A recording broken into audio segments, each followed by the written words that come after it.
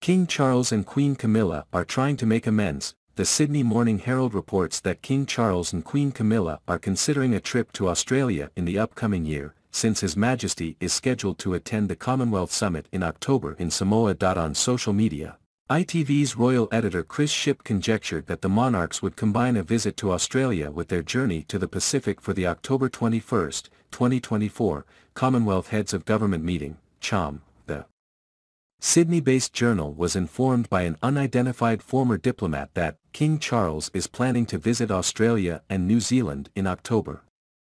Should the trip go, it will be Charles's first visit to the Antipodean countries since 2018 and his first since ascending to the throne. Charles and Camilla made their first trip to the Commonwealth as monarchs in October of this year when they visited Kenya. The royal family has faced criticism for their lack of trips to Australia and New Zealand in recent years.